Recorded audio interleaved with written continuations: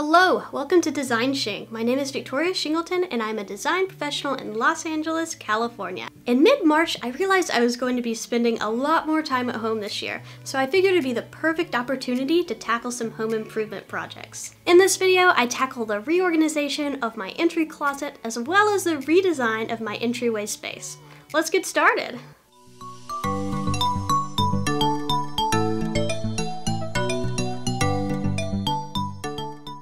Like so many other people around the world today, I am safer in my home, which means I want my home to be the cleanest, most organized it's ever been, and I am ready to tackle one of the areas of my house that really just mm, pains me. It's the entryway closet.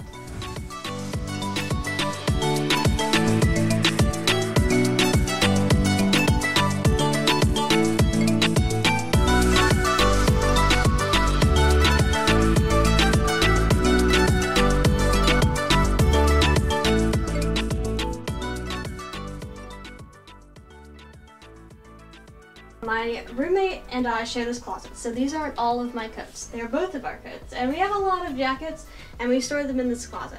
So the function that I need for this space, jacket storage, for our cleaning supplies. So like I have a steam mop, and then back of the back, I have like a Swiffer and, and a mop and a broom, and it's just really hard to access those right now. We have the shoe rack that just kind of holds our like, miscellaneous cleaning supplies, which I actually don't mind this. I think it's like a pretty good way to store, except obviously like clothes hanging out and stuff. Not so great. So we could probably organize this a little bit better. But we have a reusable bag problem. We, you know, have these reusable bags, but we keep getting more. I don't know if you guys have the same problem. Like every event we go to, there's more and more reusable bags and they just get thrown into the bottom of our closet. Up here, we've got like a picnic blanket and a wine case and that looks like some party supplies. That can probably go somewhere else. Uh, balloon time. I don't know where else that can go right now. Looks like some like scarves and then laundry supplies. So, oh, and then one more thing is over in the corner right here. We have ironing board. I also want to mount a vacuum cleaner in this closet. So I need to figure out how to reorganize this space so that it functions well for us because I want it to be something that we can keep up and maintain easily rather than just us throwing all the garbage in here and slamming the door so that nobody can see this ugly mess because this isn't really working well for us. It's kind of hard to like find a coat. There's so many coats here. Maybe I need to get rid of some coats. So, let's start.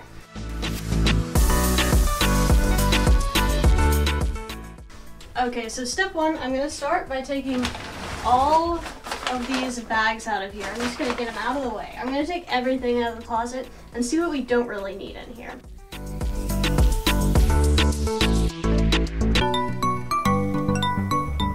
Okay, so the closet is empty. Now let's clean it.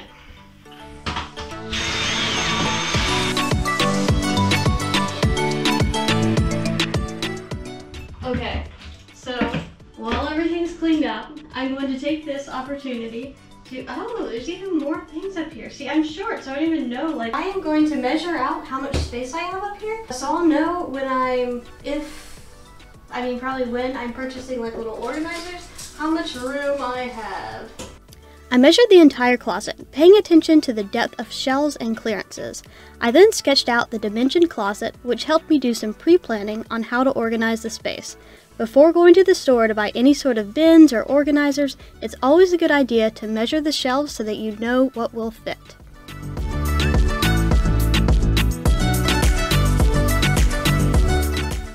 After measuring the closet, the next thing I tackled was folding all of those reusable bags. This is a really simple fold. I flatten the bag, then I fold it in either thirds or fourths depending on the width of the bag. Then I fold it in thirds in the opposite direction and secure it by wrapping the handles around the folded bag. If the handles are too long, I twist them a few times before wrapping to shorten the length. Folding bags like this doesn't take much time and it helps keep them compact and tidy.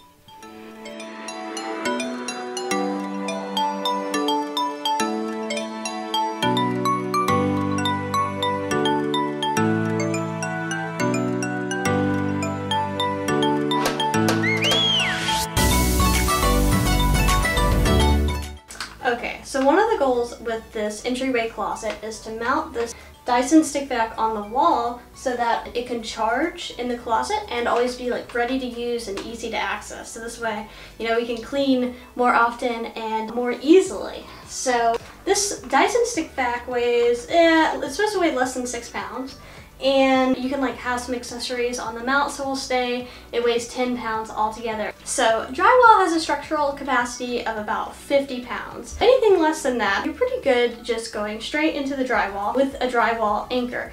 Another thing with the vacuum is that it requires electricity. I don't have a electrical convenience receptacle in my closet. So that's downer right. There actually, on the other side of my closet, is a convenience outlet. If I was a homeowner, it would be so easy for me to just call up an electrician and have him swap the direction of the receptacle. However, I rent my apartment, so I can't go messing with the electrical. Not cool. So what I have to do is run an extension cord. I've already put in the drywall anchors, and now it's time to mount the Dyson. Okay, so now I've fitted out my drill with the appropriate size head uh, for the screw that came with the Dyson package, and I'm just going to uh, drill through the mount and put this guy on the wall. Also, notice I'm also, notice I'm um, wearing tennis shoes. This is a big pet peeve of mine when people are doing like home improvement projects and they're wearing flip-flops. If you're working with any sort of power tools, you should be wearing closed-toed shoes because if this falls on your foot, one, it's heavy, it can really hurt you, but you know, if this is something with a blade or, you know, a, a bit that's really sharp, it can puncture your foot. So be careful and always wear closed-toed shoes when using power tools.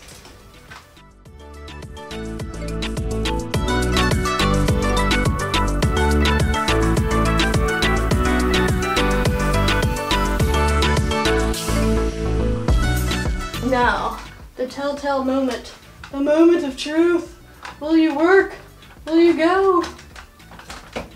Oh, it works! Finally, we have an easy to access vacuum. I'm pretty pumped. After the closet was all neat and organized, it was time to decorate the space.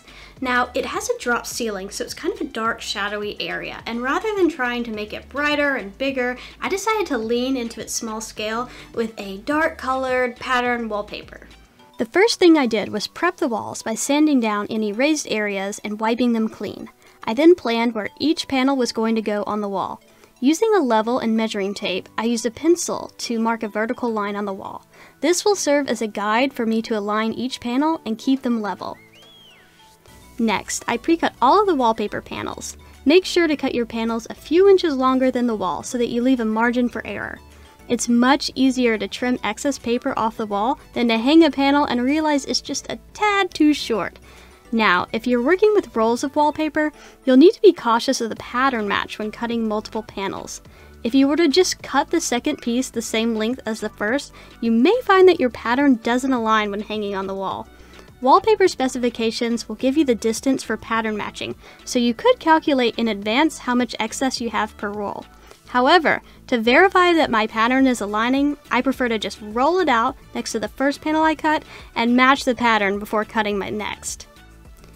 Now, when fixing the wallpaper to the wall, it can be tempting to start in the corner of the room but I would encourage you not to do that. Walls are rarely straight and at 90 degree angles, so it's important to leave an allowance.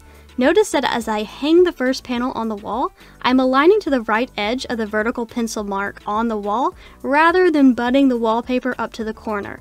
This way, I know that the panel is hung straight and I'll go back and trim off any excess on the left later.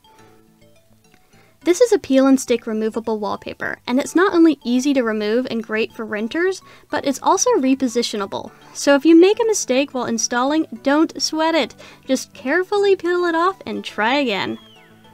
To apply the paper, I peel down the top 10 to 12 inches of backing.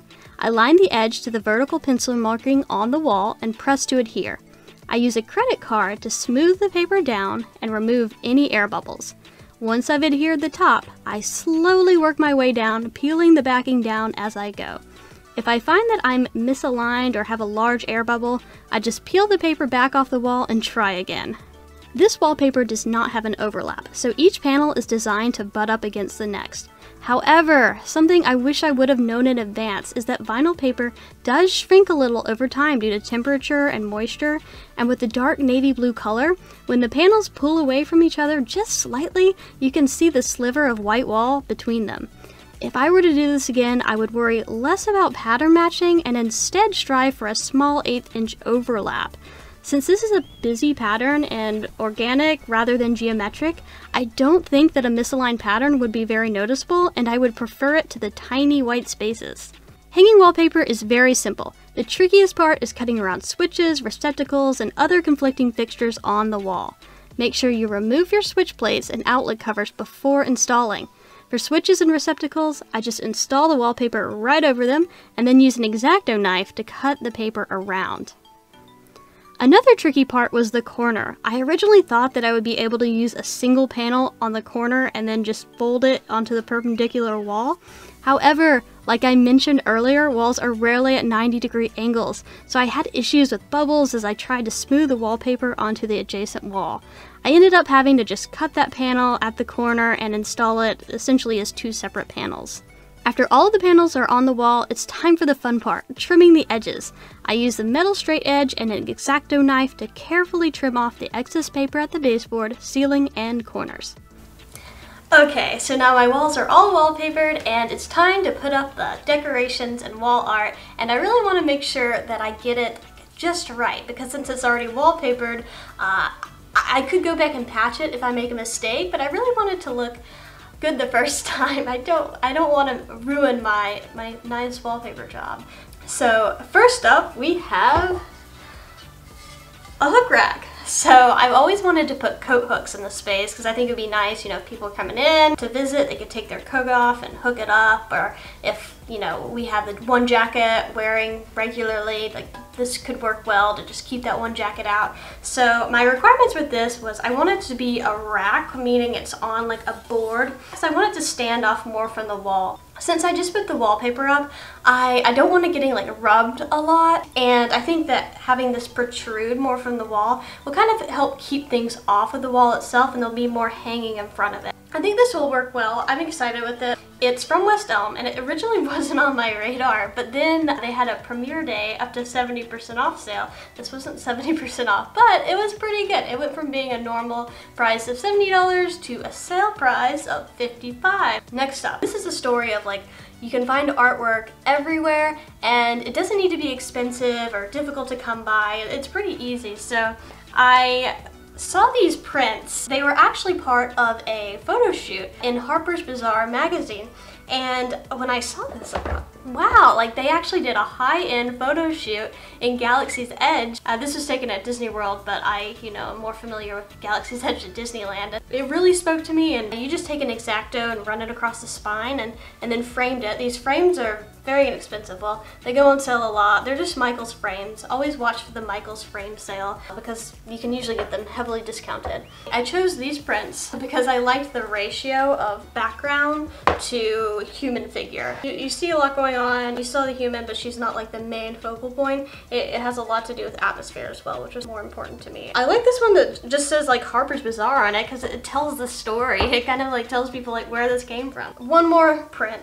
I actually had this one it was already on my wall before we started this. It is a Jeff Mindell. It just says, hello, in uh, gold balloons. I think it's a good way to like welcome people into your home. Like kind of a happy way. A really tough part. This frame. When I went to Target, I had initially had a different frame in mind. It's a smaller frame, 16 by 24 I think were the dimensions. I got there and it wasn't out on the floor. They had said they had limited stock, but it wasn't on the floor, and just kept walking by the mirrors over and over and over again. And I kept seeing this one. I've always liked this mirror. Target has it year round. It's part of their Project 62. It's $59 for this big 28 inch diameter mirror. It's a great deal. It's a beautiful look. I've always loved. So I was like, ah, I'll just buy it. Also, I want to be really careful what I reflect with this mirror because when you hang a mirror, you have to consider what's on the other side, what is gonna show up. So if I hang it facing out toward my living room, you're gonna see my living room and my entryway, which could be okay, I guess. But if I hang it here on the inside, you'll see the opposite wall, which is more wallpaper. So I think it'll tie in better. That's my hope. This is the piece I'm most not sure about. So I hope I like it. So now the artwork is hung and I feel pretty good about it, but you'll notice it's very echoey over here and that's because we have a one more step and that is to roll out the carpet. Okay, so first up I have this under, what do you call it, carpet pad. And that's because this is a tile floor, so the carpet will slide on it and you can totally just have like the ground go out from under you. So this is important to keep it from slipping around. Now the rug, the statement rug, and I hope this works out. I went with blue because it's an entryway, so I wanted it to be darker so you don't see like people's feet on like a white rug. And this is indoor outdoor, so I'm hoping that stands up a little bit better to everyday foot traffic. I bought this rug online and the brand is nuLOOM. So one thing about these rugs online, you can find them at a lot of different retailers. Pretty much any rug you see at Wayfair is also in stock at Overstock, Amazon, Rugs USA, Joss & Main. There's a lot of online retailers for these rugs. They carry the same brands, so my suggestion is if you find a rug you like, search either the name of it or like do a reverse image search and see who else is selling this rug and get the best price. Okay, so hold up. As soon as I stepped back to take a look at that blue rug, I didn't really like it in this space. I thought it was competing too much with the wallpaper, and since I spent so much time on the wallpaper, I want your eye to go up to the paper and the walls and not be distracted by the rug on the ground. I didn't want the two patterns competing with each other. So I resold that rug online and was able to have someone pick it up locally so that way I didn't have to pay to ship it back. And then I ordered a new rug, which is a neutral, and hopefully this one looks better in this space. Rug take two.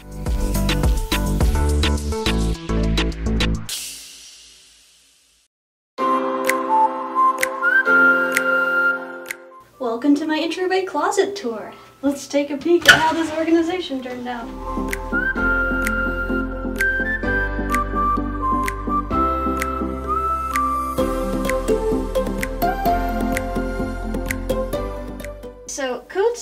Here. I took out a couple of my coats that were like more fashiony than um, you know a warm coat or for the weather so I put those back in my closet. We have a few less coats in here but most of them stayed.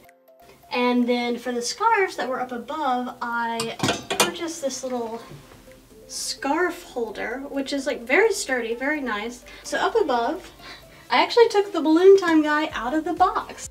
I liked it better without the box, you know, sometimes if you've got a big bulky box, just try getting rid of it. Laundry supplies, I put my laundry supplies in this bucket. And so whenever I need laundry, I'll just put that down. And then I put Maddie's. Maddie's laundry supplies are in this basket. I know what you're wondering. Where are the brooms? Well, you're gonna have to kind of part the seas for this. Shove everything to the side.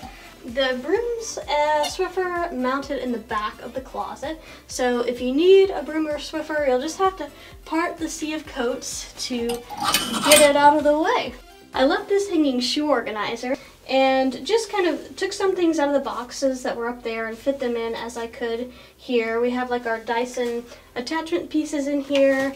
I took the Swiffer liners out of the box that was up there and put them in here, as well as the mop pads. So we have a lot of hanging organization for just the small little knickknacks that we might need to reach on a daily basis. Now, the bags that we're taking over the closet. I have folded the bags and they're now in this little basket. So if we need a reusable bag, pull it out of the basket. Paper bags. I'm gonna try to have us just use these up and recycle them, but for now they're inside of this guest bag. Now the Dysons. So I had mounted that new Dyson. It's the V7 Absolute. It is in the front of the closet. I'm very happy with this vacuum so far. I am totally fine with not getting the latest and greatest V11. The V7 is a big upgrade from my former Dyson. But speaking of my former Dyson, I purchased a mount for this Dyson online and I mounted it up in the closet as well. So if we have like a messier mess, you know, maybe something outside or something kind of like ew, goopy that we don't want to clean up with this, I just have this guy ready with the handheld so that we can easily pop him out of the closet, but not quite as easily as it is to get this guy out. Okay, so for the Dyson charging, remember I didn't have an outlet in this closet. So what I did was I took an extension cord and I ran it around this wall to the outlet that's in the back of, on the other side of this wall. And there we have it. This is my cleaner, more organized, easier to use closet. I think having it organized really helps us clean more because it's easy to get the tools that we need to clean.